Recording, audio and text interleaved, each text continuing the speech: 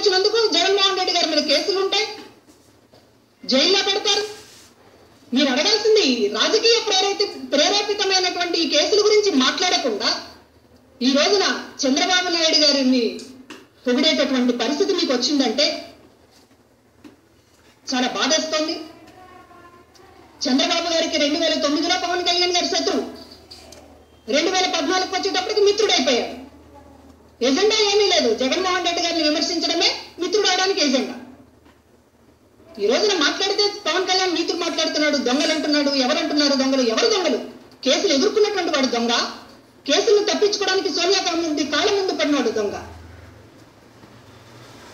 కాంగ్రెస్ అన్నిటినీ ఎదుర్కొని ప్రజల కోసం నిలబడినటువంటి వాడు మీకు దొంగగా కనపడుతున్నాడు? కేసుల నుంచి తప్పించుకోవడానికి అడ్డమైన గడ్డి కరుస్తూ కాంగ్రెస్ పార్టీతో మిలాఖత్ అవుతూ ఈ నాలుగున్నరేళ్ళు ప్రయాణం సాగించినటువంటి చంద్రబాబు నాయుడు గారు మాత్రం మీకు దొరలా కనపడుతున్నాడు.